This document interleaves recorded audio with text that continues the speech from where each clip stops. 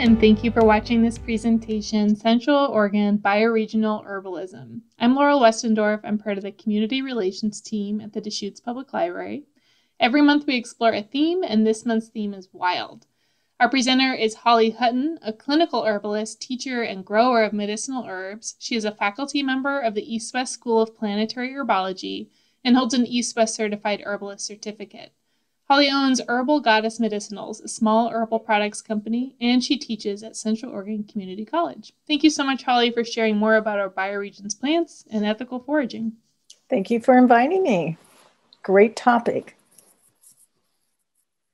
So today I'm going to talk about some medicinal herbs that grow in and around Crook, Deschutes, and Jefferson counties. But first I want to start our conversation about how to, how does one go about learning about plants which are medicinal and how to identify them? First, it starts with learning about our history and which plants have been used medicinally. For this, we will look to those who have lived in this geographical area, namely Native Americans. In Central Oregon, historically, this land was not occupied, but was part of various tribes' seasonal rounds, which basically means that folks would travel through the area throughout the year, harvesting animals, fish, food, and plants to be used personally or traded with other tribes. Primarily, this included the Warm Springs, Northern Paiute, and Wasco tribes, all of which are affiliated with the Confederated Tribes of Warm Springs. Most of what I have learned about local plants comes by way of reading ethnographies that were conducted in the early to mid 1900s of tribes within Central Oregon are those that live within similar plant communities. Although most of these plants were used historically, there has been a resurgence in some of these modern herbal circles. The second step in the process is to have a working knowledge of plant identification. This book was written from the perspective of an herbalist, so it has both plant identification information as well as some info about each plant's or plant family's medicinal qualities. The second important step is to have a field guide. There are many available, and I have a list of books at the end of the presentation that I use for plant identifications and medicinal information. Once you identify a plant, um, or if there's one that you know that you want to find out if it grows locally, you can always look it up in the USDA plant database, which gives you an idea where it grows um, in each county in the United States. This is not always completely accurate, but it's still worth a look. So before we get started, one of the reasons that I'm always a bit hesitant to teach this class is that I hold a deep respect for these plants, and I want to ensure that they are cared for ethically. I would like to go over a few thoughts on ethical wildcrafting. First of all, follow the abundance. Many of the plants that I will talk about are not prolific in Central Oregon. Therefore, it is important to ensure that there is a plentiful supply and that you are not depleting it. The good rule of thumb is to only harvest 10% of what is available. When you are harvesting roots, try to make sure that you cover up the hole so it looks like it did before you came. Basically, so the idea is just to leave no trace. Another point, I have a slide at the end of the show that points you to various medicine making techniques that I will um, be using words for, like infusion, decoction, tinctures, and poultices. Um, so at the end of the slide, there are some how to places to go and find the information. So let's get started. I wanted to start with plants in the Apiaceae family or carrot or parsley family, since it contains several poisonous plants, and that's always the best place to start is to know what plants are poisonous. This is one of the most important plant patterns to learn. Notice how all the stems of the flowers cluster radiate from a single point at the end of a stalk. It's kind of like an umbrella. At the end of each of these flower stems, there is another umbrella of even smaller stems, hence the whole idea of a compact umbrella shape. This is an example of the first plant that we're going to talk about called Oshala. And you will see how, how similar it looks to water hemlock or poison hemlock. The link on the slide is a YouTube video that explains how to identify hemlocks, which is a really important uh, first step to take before you would go out and harvest any of these plants. Oshala, our Ligusticum grayi, um, is very similar to osha if you have that frame of reference. Um, Oshala is on the endangered list and is something that we try to avoid harvesting unless it's plentiful. Um, Oshala has a diaphoretic action due to its, the large amount of essential oils that help to increase the circulation and promote sweating, make it, making it really perfect for use of colds and flus. Um, it has been said to rival echinacea in its immune boosting qualities. As well, it as it has antiviral and antibacterial actions, making it useful for upper respiratory and general infections. Its essential oils are also carminative, meaning it will help with indigestion as well. This is a plant that I would be very respectful of in that it isn't very abundant. When I harvest it, I will often spread the seeds and plant them back into the hole that I dig. I typically make a tincture of the root. Another plant in this family is Western sweet cicely. It was used extensively by many Native American tribes, in particular the Paiutes. It has a licorice like taste and scent. It is also composed of a lot of essential oils. The roots are the part which most often are used medicinally, but the leaves are also used for a tea or when you're wanting a slight anise flavor, you can also use it for cooking uh, or in soups. It was used for colds, flus, coughs, and to help break a fever. It has a host of actions, including to address indigestion, and more recent research has pointed to its ability to regulate blood sugar. If this wasn't enough, it is also can be used topically for bites, swelling, and toothache. This can made, be made into a tincture or it can be used as a poultice. The next plant that we're going to talk about is uh, bare biscuit root. Um, this is pretty prolific throughout Central Oregon and it has a long history of use. In this case, the most often are the seeds that are utilized. The seeds are chewed, chewed for a sore throat aid, then swallowed to help loosen the phlegm in the system. They can be ground and used as a poultice for sore and swollen breast, arthritis, or any other kind of pain. Native Americans used an infusion of seeds for pregnant women at delivery to ensure an easy birth. The Thompson tribes used a strong decoction of the whole plant for colds and to break a fever. Early pioneers used a decoction of the seeds, and were, they would also combine it with strawberry leaves and peppercorns uh, to dress colds because it's very warming to the system. I have uh, combined this the seeds from this plant with fennel and cumin seeds as an after dinner digestive mix for relieving gas, increasing you know digestive performance, and addressing indigestion. Um, Many of the plants uh, in the buttercup family are not used medicinally. There is one very highly poisonous plant that grows locally, which is used in traditional Chinese medicine, and it is called uh, monk's hood. Um, you can find that up. Well, you can find it in lots of places, but certainly up in the Ochocos. Uh, and that should be totally avoided, not touched at all. Western meadow the leaves are edible, um, either raw or cooked. The root contains berberine, similar to what other herbs such as golden seal or Oregon grape root, which is typically used uh, because they have antibacterial properties. The seeds are used similarly to biscuit root, which I talked about just a little while ago, where the seeds are ground and it can also be used as a poultice for any kind of rheumatism or aches and pains. The roots have been shown to have analgesic properties and have been used for re- relieving uh, migraine headaches. I have tinctured the root to use with a combination of herbs for pain. It is currently being studied as a possible cancer herb. this plant is uh, known as red baneberry. Uh, this grows pretty prolifically in the Ochocos, hence there's a, a trail called Baneberry Trail. The berries are toxic, but the roots are used medicinally. The roots uh, are used for dull, aching muscles, menstrual cramps, hypertension, and insomnia.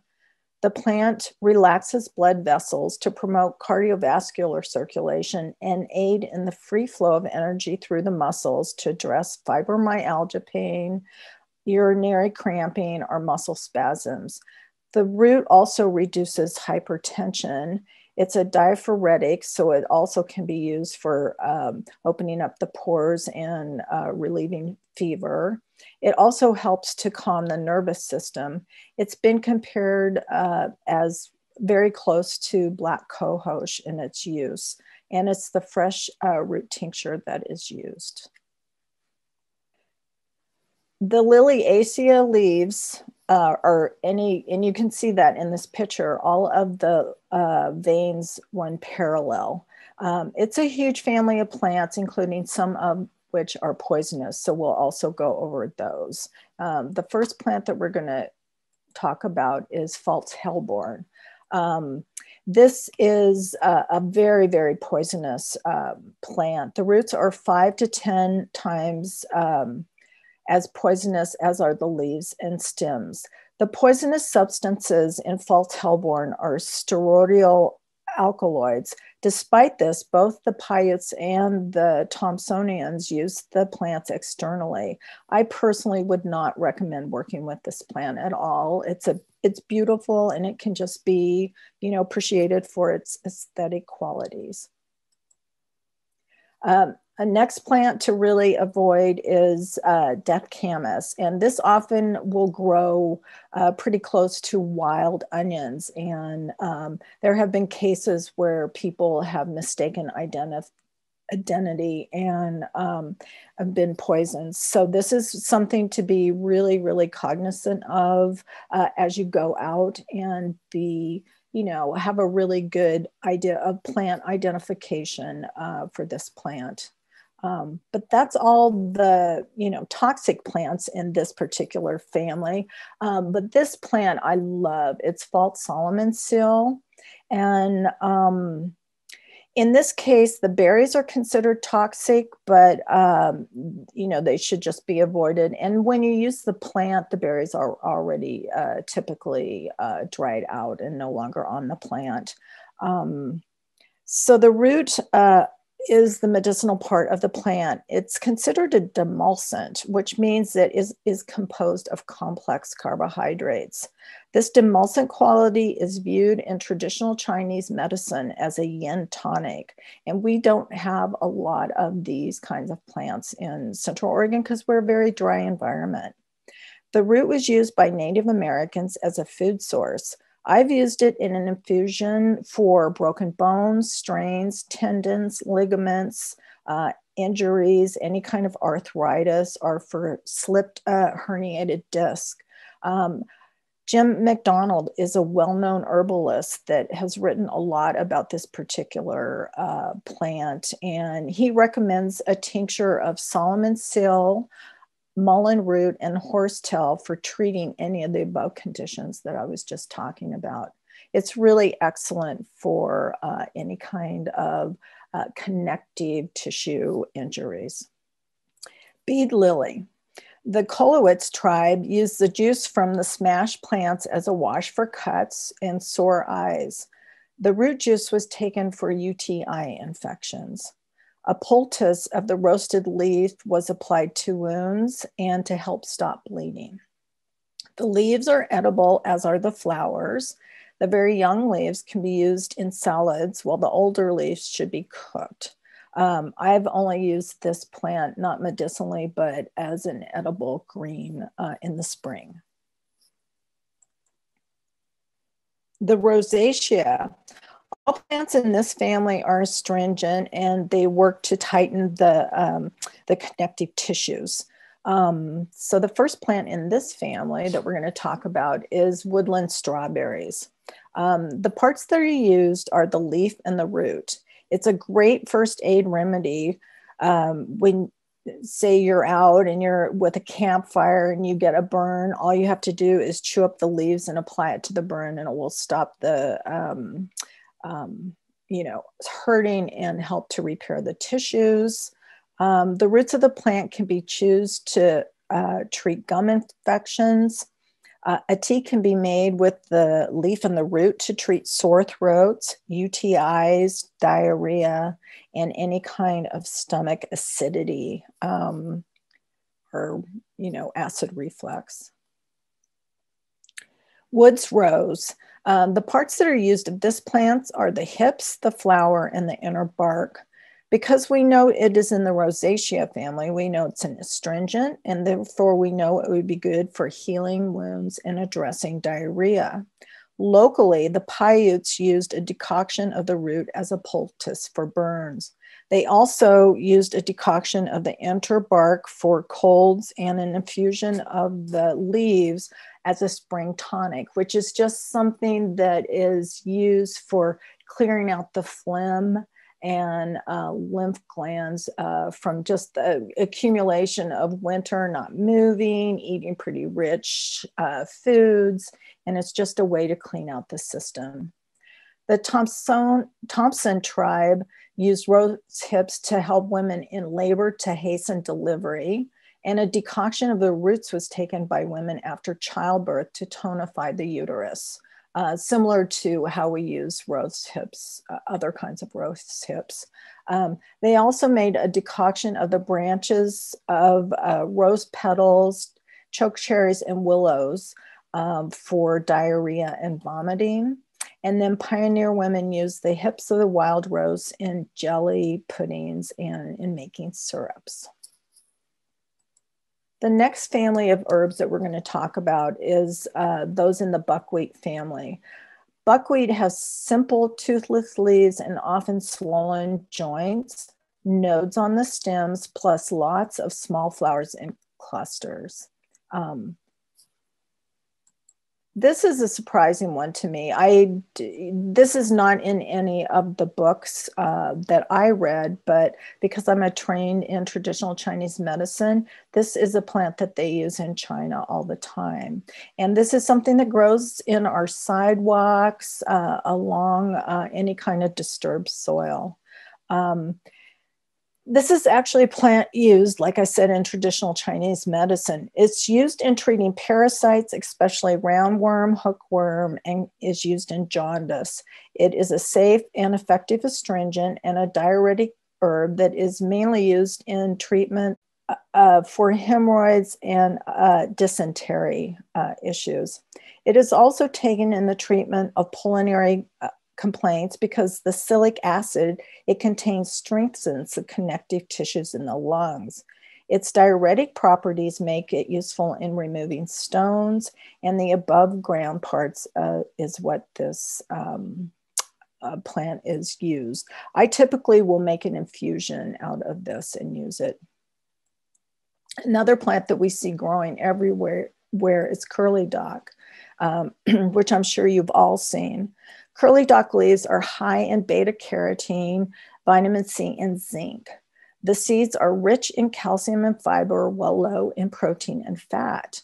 An infusion of the seeds is used for dysentery. An infusion of the root is used for athlete's foot infections. The dried powder leaves can be used on wounds and sores. The roots tone and cool the digestive system, and it's good for acid reflux or any kind of increasing the lymphatic circulation if there's any swollen glands. Uh, internally and externally, it's used for addressing skin conditions um, like acne, eczema, and any kind of skin eruptions. It, it works on the liver, so it's really good for cleansing the liver. Heartleaf buckwheat. It's also astringent because it's in this family and it's used internally and externally. A decoction of the roots and stems can be taken for colds, to heal wounds, and to stop diarrhea. A poultice of smashed leaves can be applied to cuts, and an infusion of leaves can be used for any kind of sore, infected sores um, externally. A tea of the leaves, roots, and stems were used for stomach pain historically. And lastly, a decoction of all the plant's parts were used in steam baths for rheumatism. So this also is a very used plant. Uh, the next plant we're going to talk about is uh, plants in the mint family. Mints are really super easy to identify. They have a four-sided stem or square stem with opposite leaves, and they're usually very uh, aromatic. There's several uh, native uh, mints in Central Oregon, but we're only going to talk about one. The one we're going to talk about is nettle leaf giant hyssop. Um, many of the mints uh, have a very cooling energy. This has a very warming energy. Um, the Okanagan Colville tribe use an infusion of the leaves for colds and fevers since all mints have essential oils and um, they help uh, the pores to open up and release heat. Um, the Paiutes used a cold infusion for stomach pains, and the leaves were applied to swellings. Uh, mints are also really useful for relieving gas and indigestion too. So this plant makes a really lovely um, tea uh, that you can make. The next plant that we're going to talk about in, is in the sunflower um, seed family. And this is the largest family. There's about 19,000 species worldwide. And it ranges from all the way from dandelions to artichokes. So it encompasses a lot. Um, arnica, we have two varieties of arnica here, cordifolia and latifolia. Um, Arnica is uh, only used externally and it's toxic if used internally. Most of what we buy in the store that is labeled uh, arnica is from a homeopathic preparation, uh, which means that it's diluted uh, quite a bit. Uh, when I harvest this plant, I actually wear gloves um, and then I just get rid of them. Um, and then I let the flowers sit out so all the, you know, to evaporate some of the water out. And then I cover it with oil. I let it sit for several weeks. I shake it daily and then strain it. This preparation is very effective for addressing swelling, aches and pains, bruises. It should never be used on open wounds. Um, arnica is in the endangered um, list. Um, and so this is one of those plants, if you were going to pick, you would only pick 10% of the what you see uh, just to ensure that um, the plant continues to be prolific where you see it. Pearly everlasting. Um, this plant grows everywhere as well. And the parts that are used are the leaf and the flower. It's astringent and specific for the lungs to help stimulate the flow of mucus and reducing phlegm. It is used for seasonal allergies, runny nose, um, sore throats, and mouth sores. It's useful to the digestive tract, which is often tied to the production of phlegm and in cases of diarrhea. Externally, it is used for bruises, wounds, and also sunburns. Um, it's used in herbal smoking blends to help clear phlegm from the lungs. Several plants that I'm going to talk about are um, can be used as a smoking mixture to help um, uh, decongest the lungs. Um, the next plant that we're going to talk about is arrowleaf balsam. This is one of my favorite medicinal plants in Central Oregon with its bright yellow flowers and its highly aromatic roots. The parts that are used are the leaves and the root. I make a cough syrup out of the root, which is quite resinousy and helpful for loosening phlegm and resolving congestion. Um, balsam root has antimicrobial actions. It's an expectorant and with recent research, research, its ability to stimulate white blood cell activity, much like echinacea as well. Topically, balsam root serves to disinfect, reduce inflammation, and enhance healing. Powdered balsam root leaves can be applied to the burns, wounds to help soothe eczema and ease the pain associated with bruises and contusions and athlete's foot. A poultice of the mass, mash roots can be applied to insect bites and swellings. Native American tribes used a decoction of the root rubbed into the hair and scalp to help hair grow. And young stems and leaves can be uh, eaten uh, raw in a salad. Um, this is a very, very hard plant to harvest. Uh, I actually have um, a metal stick called uh, a um, and it helps me to dig the root because it's usually embedded between rocks. Um, so I usually, every year, I will harvest maybe two roots. Um, another plant that we see everywhere is rabbit brush. We're really surrounded by rabbit brush. And yes, it was used medicinally, although I haven't tried it yet. Native Americans use rabbit brush for chewing gum, tea, cough syrup, and to treat chest, chest pains. The parts that were used are the leaf and the flowers. And an infusion was used by the Klamath, the Thompson, and the Okanagan tribes for stomach aches, colds, coughs, menstrual pain, and as just a general tonic. The leaf and stem infusions were also used for externally for treating sores and skin uh, eruptions. And of course, sagebrush. Um, Artemisia tridentata uh, was used by the Okanagan, uh, Colville, the Paiute, and the Thompson tribe. Many of the tribes used it similarly. Similarly, uh, that being said, I would only advocate for its use externally due to some toxic phytochemical constituents. Externally, it has many uses, including as a poultice for fresh and dried leaves for chest colds, as a wash made of the leaves and stems for cuts and wounds, and as a leaf decoction for an eye wash for irritated eyes. The leaves are powdered and used for diaper rash, athlete's foot, and lastly, a decoction was used in a bath for muscle uh, muscle ailments. Again, I just have to emphasize that this is something that should only be used externally. And of course, yarrow. Um, yarrow is a plant that grows everywhere in Central Oregon. Its name comes from Achilles, who put yarrow directly on his soldiers' wounds to stop hemorrhaging. The parts that are used are basically all parts of the plant are used. Um, this is a great first aid plant. The leaves can be chewed and applied to a wound to stop uh, bleeding immediately. It can also be good for any kind of stings, um, uh, wasp stings, etc., bee stings. It's a great herb for breaking a sweat in that it has diaphoretic properties. So it's really good to use if somebody has a fever.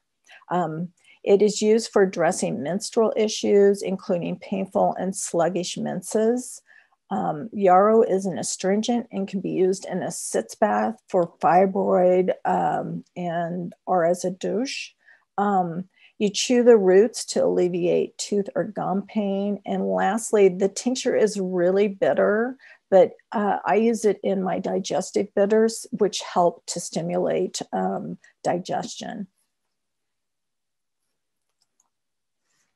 The next plant uh, family that we're going to talk about um, is the evening primrose family, and almost all the plants in this family have edible flowers.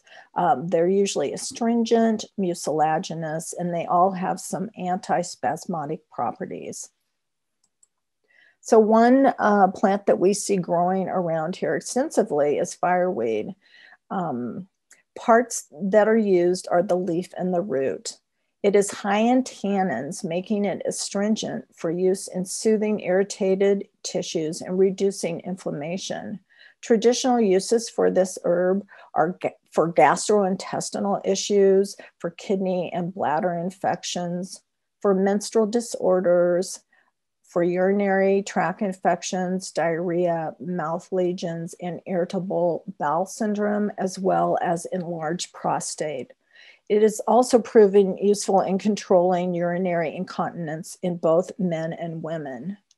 Externally, an ointment of the mash roots is made from the plant to treat children's skin conditions, for eczema, rosacea, or other skin conditions.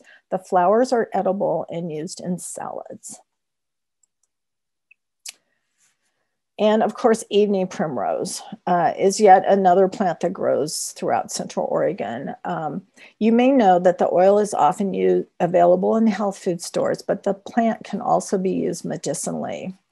Um, primrose plant contains a high concentration of a fatty acid called GLA. This helps with healing itchy red skin, irritations, including eczema, so you can use it externally. For this, you would harvest the roots, smash them, and then infuse it in oil. A tea made from the roots is also used in the treatment of uh, obesity due to because it has a lot of co- complex carbohydrates in it. Many modern herbalists use the roots in cough syrup for congestion. The leaves and the flowers are edible and can be added to salad.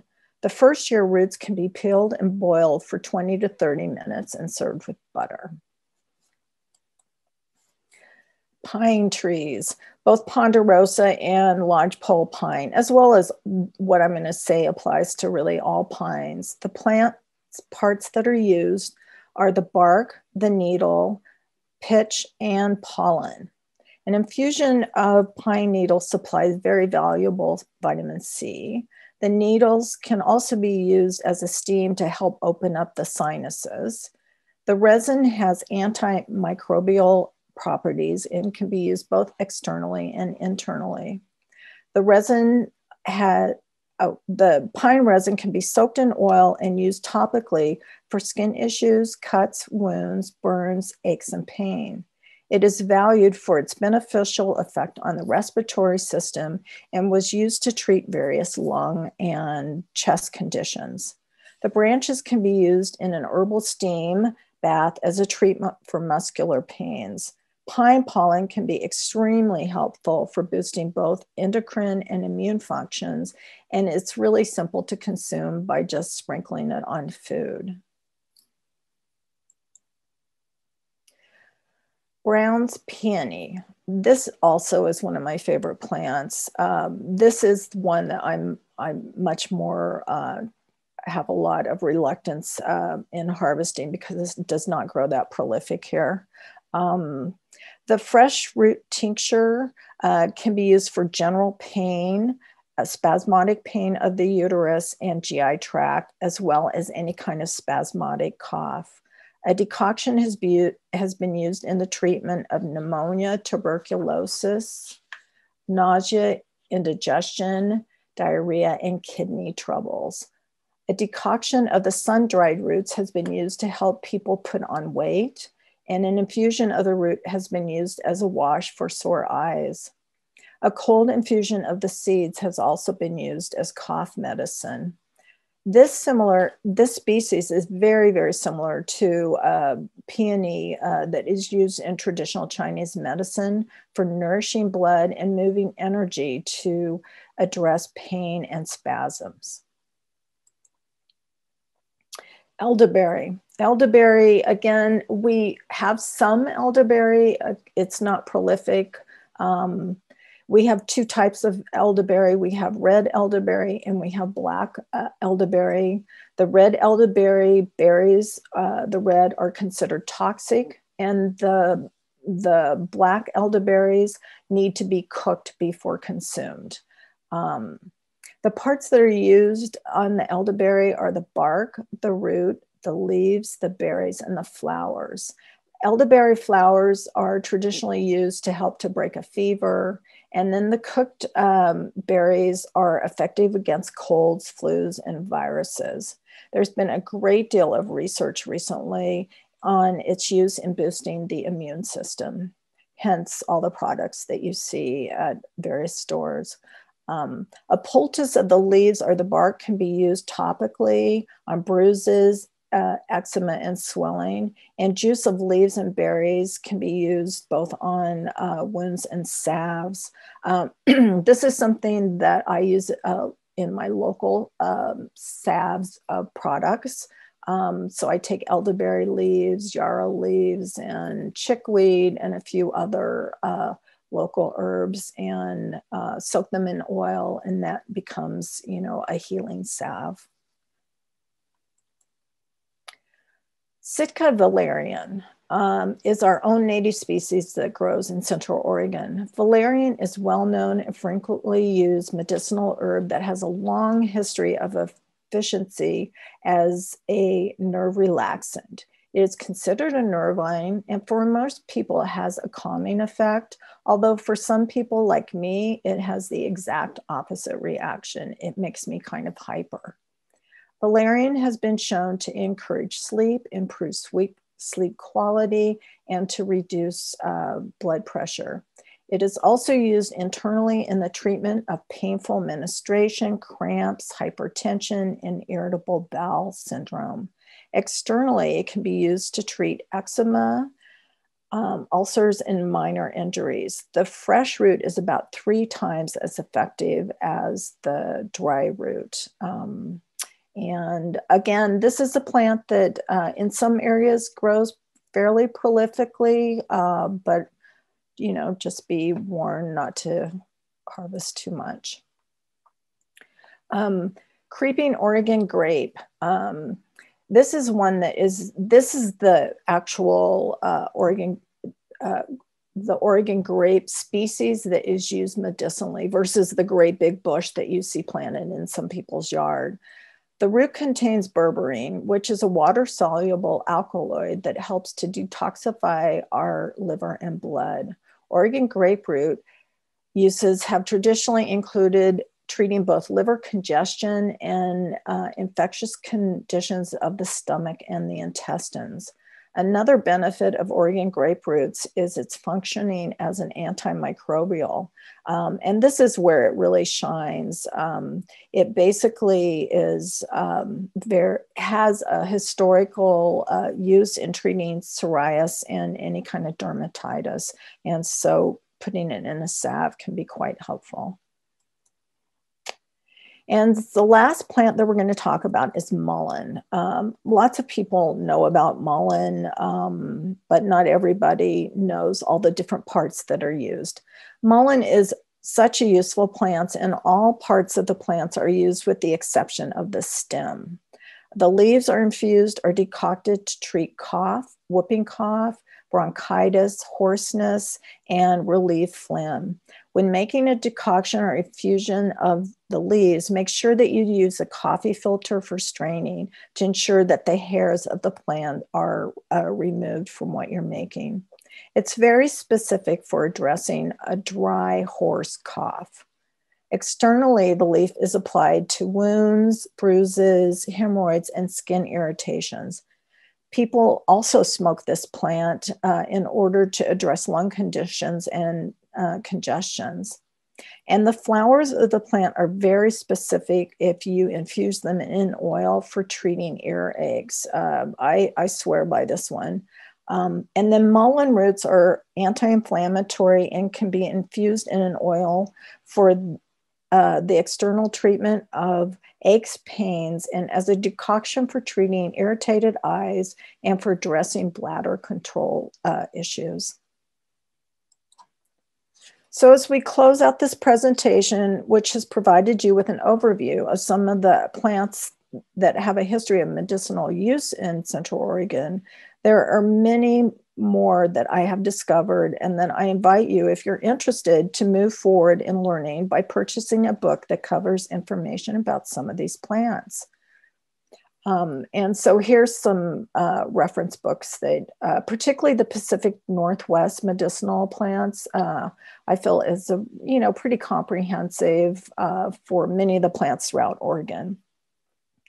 Um, and as an aside, in the summer, I typically uh, will do a, uh, a wildcrafting class where we go out through COCC and uh, identify some of these plants, and I'll talk about them. I don't know if it will happen this year or not.